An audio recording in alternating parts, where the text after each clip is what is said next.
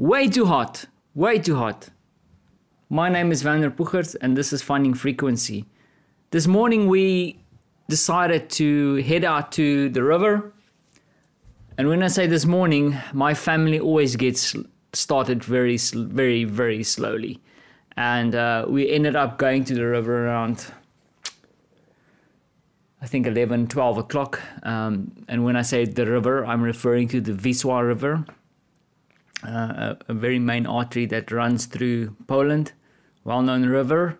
And uh, there's a really nice boardwalk here. I think that's what you call it, a boardwalk. Um, recently renovated, but then there's also an older part that has these makeshift little pubs and bars around it, and there's like a little breakfast market there.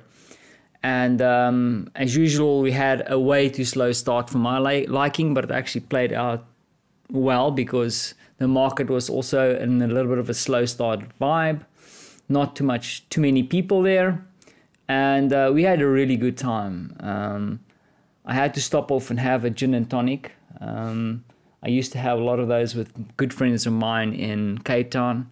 So I relived a memory or two. I just sitting in the shade, having a gin and tonic, and watching Francie play in a little skate park. And of course, we had a bicycle there. I was on the longboard. Marta was Marta was kind of following us everywhere, and uh, I think we stopped off at a few little spots just to hang out and just spend time together. And it's funny how you do these things, and then at the end of the day, you don't realize what you've done, and um, you think back at around these moments. There was one specific moment where uh, where where Francie and Marta was dancing. It just at one of the stalls they were playing a little bit of I think 80s music or something and um, they just spontaneously started started dancing together and it was really just cool to sit there and watch the two have fun. Um, we also grabbed the public transport in. It's usually just better because when we go to the river we always make the mistake to try and find parking and it's never a good idea. We get frustrated. So we parked on our side of the river and jumped on the metro and uh, crossed the river, and it was way easier, way more uh, fun for Francie because he loves the metro. We came back on the tram uh, to the car again. Um, yeah, in general, just a really, really cool day spent with the family, but we are all tired. I think also we make a mistake by going out so. I mean, I tend to want to go out early and end my day early uh, where I think it'd probably be wiser to go out a little bit later in Polish times because I think we all, all three of us, are really tired. Um, I have a massive headache at the moment, and I think the sun got to me a little bit. But uh, all in all, a great day. Um, I just need to get some liquids in now. Um, then the other thing I needed to talk about too is that we are um, in the midst of packing for our kayak trip. Um, if you could see my, how my house looks like now, it's tents, um, a tent, not tents, sleeping bags. We have watertight bags. Um, the plan is, is that we'll hire a kayak.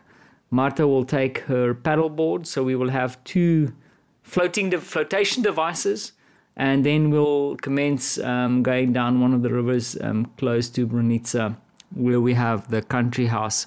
So that's going to be a nice adventure. I, I'm not entirely sure. We, we, to be honest, we haven't really planned this thing out in detail. And to be honest, even with my uh, my updates, I was intending to to set up a few things and prepare myself for recording in the field, and I haven't even done that. And that's exactly how we're kind of approaching this trip. Um, we're planning roughly to stay out for maybe two to three nights. Two nights will probably be just raw camping. Um, the first night, uh, we think and suspect that we'll be um, staying out in the wild. Um, and it's the Polish wild, so nothing's going to attack us. But apparently, uh, the law here is also that um, it's not like private property, so we can stop off and assist people do this, and we'll be camping next to um, next to the river the first night, just wherever we, we get to. We have a few landmarks, and uh, also the person we're renting the kayak from will give us a bit of an indication of where we should should go. Of course, with Marta at hand, we'll be stocked up. There's no way that we'll be uh, going hungry or cold. Um, so the first night's going to be really roughing it. But then also, I need to explain that there's these little pubs, bars, and spots that you can stop off at and get uh, all kinds of food and things on the way. So it's a little bit of a fun thing. It's not like we're going into the wild country or anything, but it's going to be interesting. Uh, so the plan is that we're going to be out for about two nights in the rough. And then uh, just to, to spoil ourselves, we might stop off somewhere where we have a little bit of a better accommodation. Um, but we're going to keep it really, really rough and, and see what happens, see how Francie takes to it if it's if it doesn't work, they'll come fetch us and we'll just come home then. Um, so it's in a way also cool just to do it that way where it's all flexible.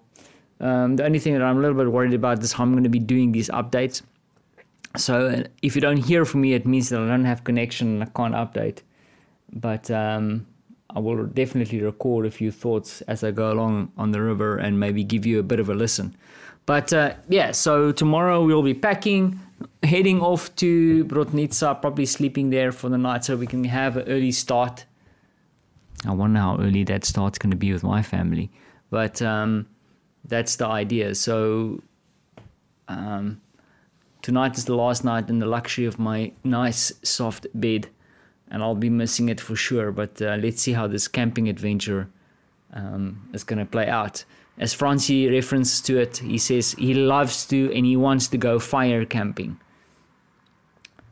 Yeah, I think he's referring to staying in a tent and wants to have a little bit of a barbecue. Let's see if we can make that happen. Hope you're having fun. If not, make a plan.